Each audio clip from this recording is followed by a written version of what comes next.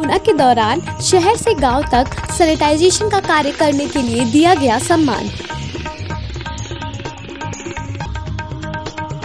आकाश ने अग्निशमन दल के अधिकारियों को किया सम्मानित।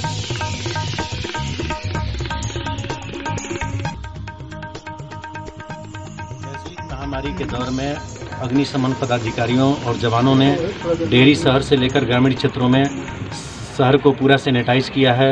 और ऐसे भी 24 घंटे जवान तत्पर रहते हैं। उनको देखते हुए देश की सबसे बड़ी नाट्य संस्था अभिनव कला संगम ने यह प्रण किया कि वैसे जवानों को सम्मानित करना है।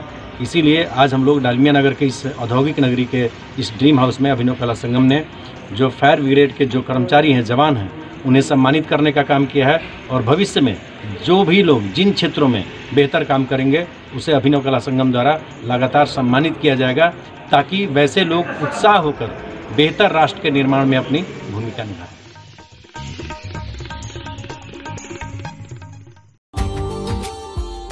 सब्सक्राइब ना and press the bell icon never miss an update